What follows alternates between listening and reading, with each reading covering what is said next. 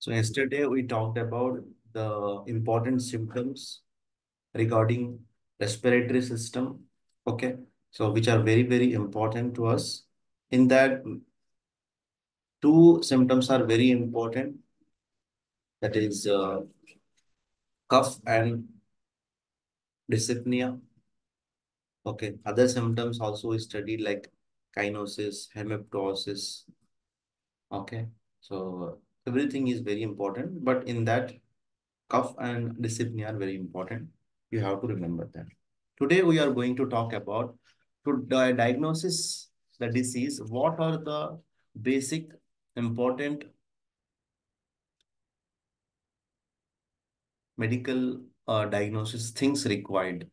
Okay. So let's talk about that. First, you can ask the patient. Okay. A physical examination, you have to ask the patient in that any one complaint is there. So like yesterday we talked about cough, dyspnea, chest pain, okay, shortness of breath, wheezing sound, hemoptysis, uh, stridor, stridor, uh, crowing sound, okay. Other than that, we have other symptoms like fever. You have to ask the patient, you have fever, okay, and weakness, weakness, and uh, general feeling illness, innerly feeling illness.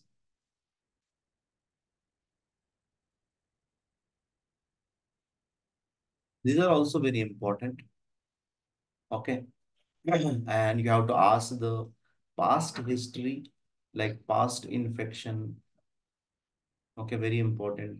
You can you expose to chemicals uh, daily basis on or uh, in the previous uh, any uh, in the last history you exposed to any chemicals okay exposed to chemicals okay i am writing in short form or any uh, drug history is also very important okay and ask about using any habits social habits like alcohol addictions smoking or drug history and what type of uh, work he or she do outside or in the home. Okay, traveling, how much tra you travels, you travel in the uh, very traffic area or else you travel to the city to city, like the question you have to ask and family history very, very important. Okay, your father or mother have any affected with any uh, deadly diseases of respiratory system like uh, TB. Okay, this is very important. And you have, whenever a patient of respiratory system comes to your clinic, you have to tell them to walk. Walk for one minute, two minutes, three minutes. This tells us the capacity of the lung. The patient have dyspnea or you have to talk with the patient while walking. Is he able to talk? Sometimes you have to advise to talk, uh, walk on the stairs also. Okay, and which gives uh, you the some types of regarding abnormalities of respiratory system. Other than that, these are these things very important. Okay, other than that, you have to ask the patient uh, or check the color of the skin. Okay. Because the color of the skin also tells about the uh, tells about the respiratory system. Very, very important. Like yesterday, I talked about cyanosis. Okay, this is very important sign of respiratory disorder. Okay, bluish color skin or another color is yellowish color. Yellowish color means indicates that uh, uh, light blue or yellowish color in, indicates that the patient is in anemia, anemic condition.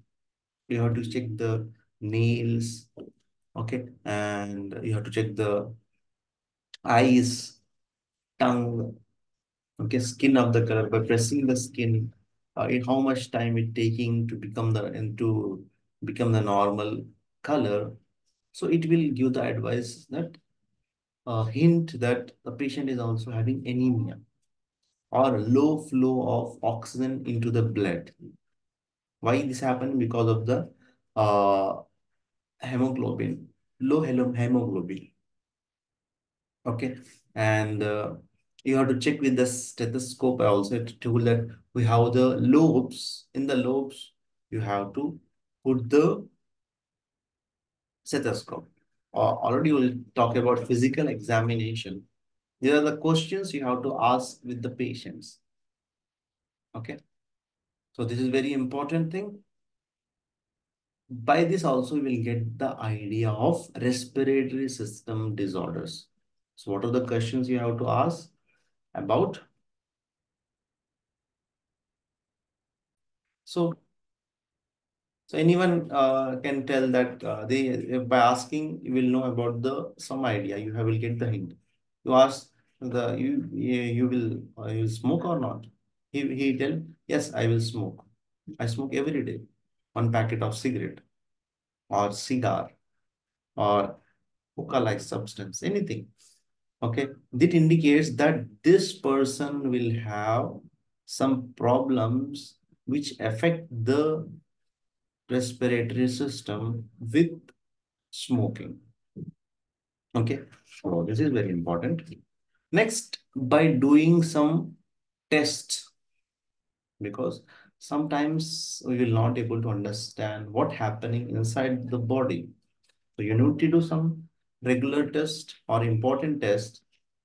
Okay. So what are the basic and regular uh, tests are performed to know about the respiratory system? First is, I already told you that you have to do CBP.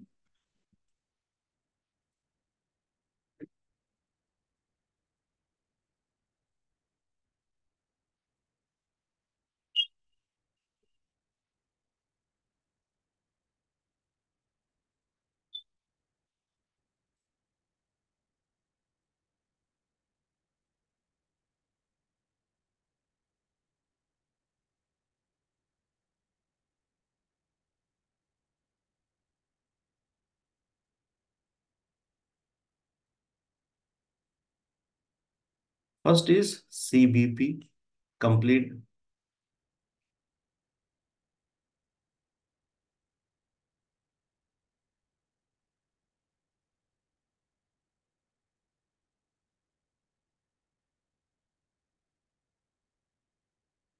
I don't know why it's not in writing here.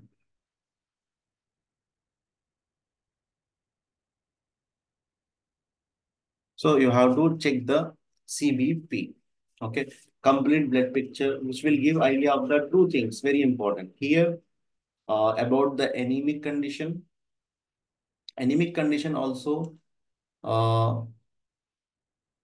anemic condition also indicates the person have decreased red blood cells. That's the reason the patient have uh, color changes.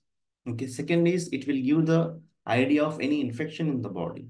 So if the person have cough with uh, some sort of discomfort in the chest, chest pain or any type of discomfort, so you can you can get the idea that the infection is in the lungs only. So WBC here, which which uh, which thing you have to you will get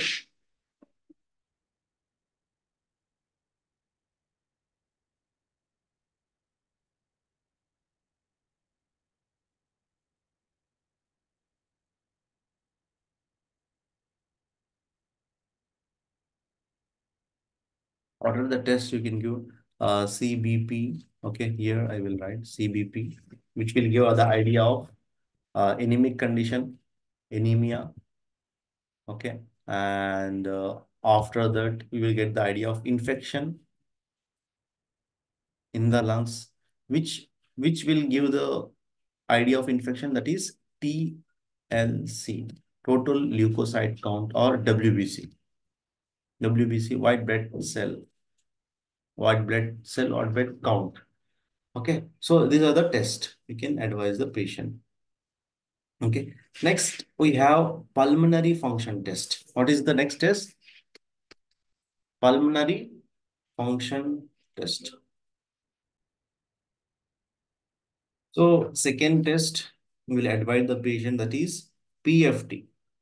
What is the second test? PFT, pulmonary function test. Very important test.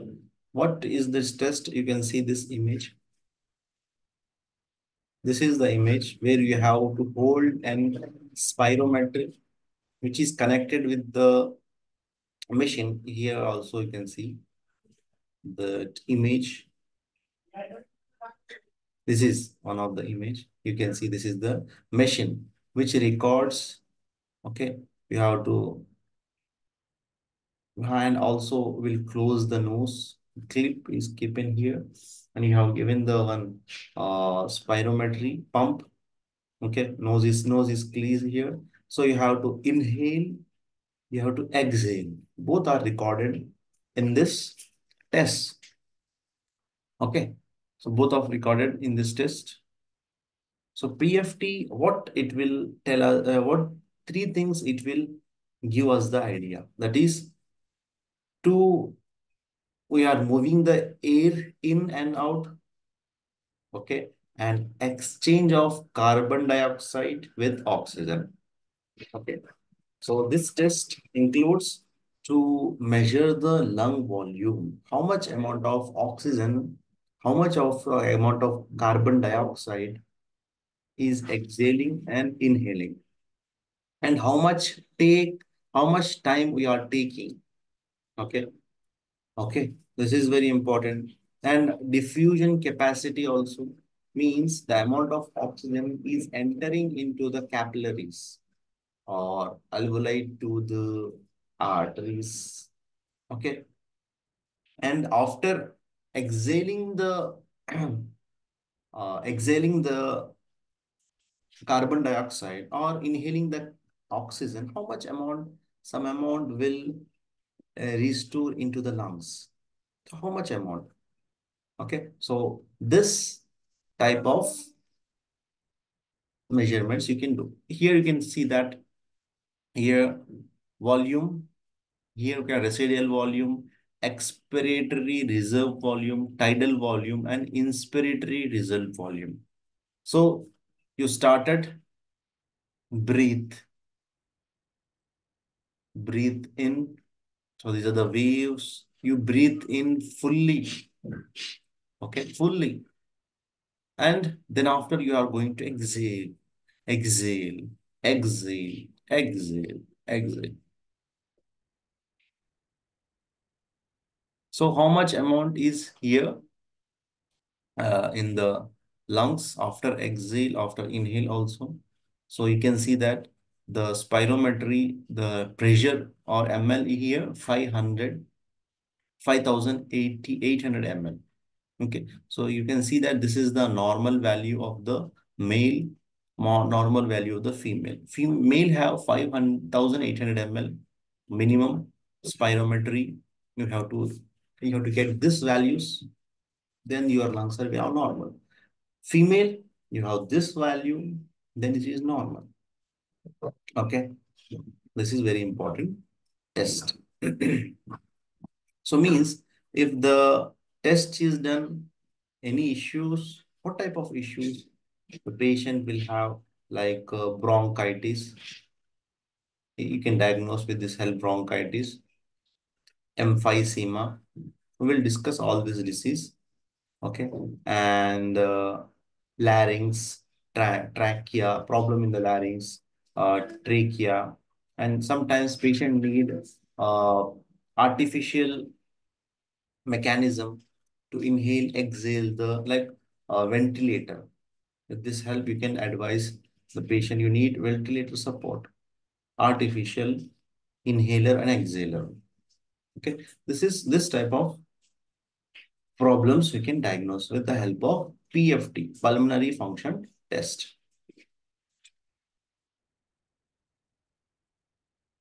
Next, we have sleep study.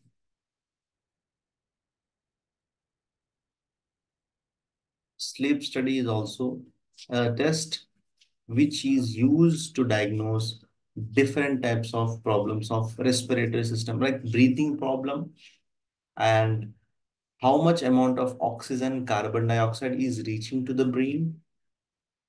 Okay. And controlling of breathing is respiratory rate is low, that's so much low. Okay. Or else uh, you have sleep apnea. Okay. During the sleep, the respiratory rate is low and low amount of oxygen is reaching to the brain. So this study can help us. Sleep study or the person is going to the deeper sleep, how much amount he is sleeping deeperly and abnormal sleep. Okay, so sleep study will give us the idea of abnormality of the lungs also and sleep pattern also. Okay, where we have to increase the sleep pattern. Next is we have to do uh, arterial blood test, ABG, or arterial blood gases.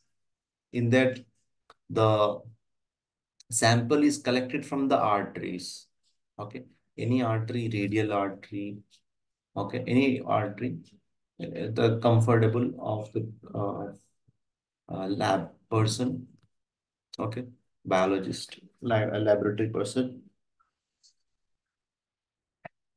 I have ABG give the um, very good amount, so very perfect amount of oxygen levels in the uh, blood and carbon dioxide level and pH level, sodium, potassium. Okay, these are the levels you can see in the ABG. So if the low amount of oxygen is there, it means the patient have issue in the uh, inhalation. Okay, inhalation problem is there. Low amount of oxygen is reaching to the cells. Okay, so we need to treat the patient.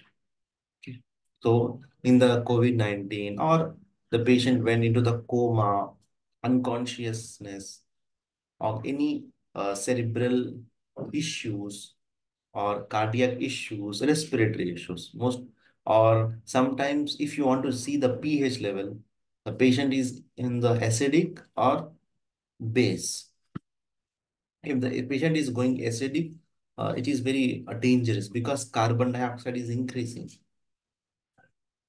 Okay, so that things also can be seen in the ABG. And we have uh, another test that is very regular test. We know that that is chest X-ray. Chest X-ray will give you a simple idea of the lungs. And we have the uh, heart, heart cardiomegaly also can be seen. The size of the heart can be seen. Or the lungs, ribs, okay, clavicle bone, sternum bone, trachea. All can be seen in the chest x-ray. So we will study about chest x-ray also. Okay, how to diagnose with chest x-ray. That uh, till that you have to uh, you will get the report from the radiologist. You can see that report and you can confirm the diagnosis. Okay, next is bronchoscopy. So we have the one machine. With the help of machine, the pulmonologist, mostly pulmonologist will do the uh, test and will send the on camera inside the trachea and you will see the lining, anything which is problematic. He will give the test, he will do the test and he will give the result. Okay, so this is all about chest X-ray bronchoscopy.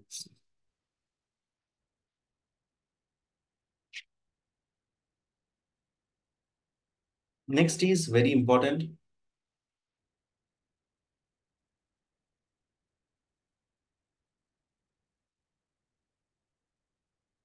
That is uh, sputum test.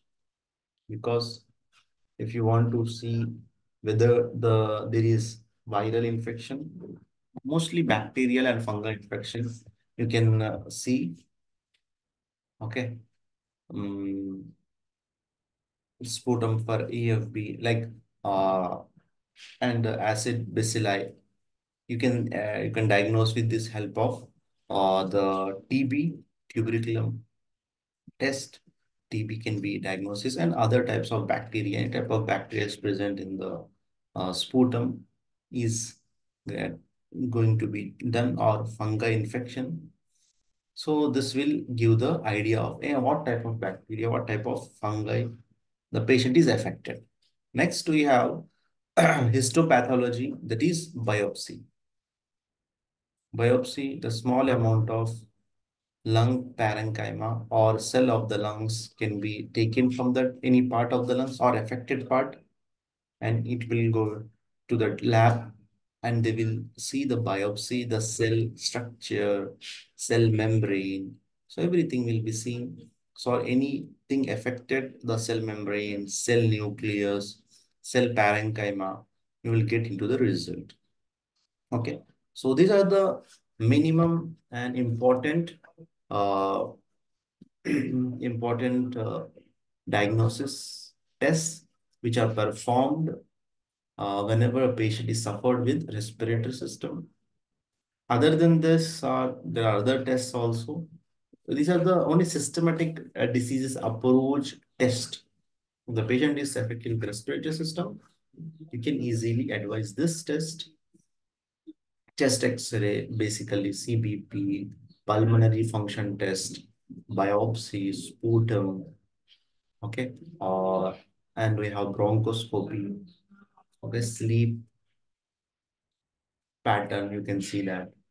So all these tests are to be done to uh, diagnose the respiratory system disorders. So if anyone have any kindly ask.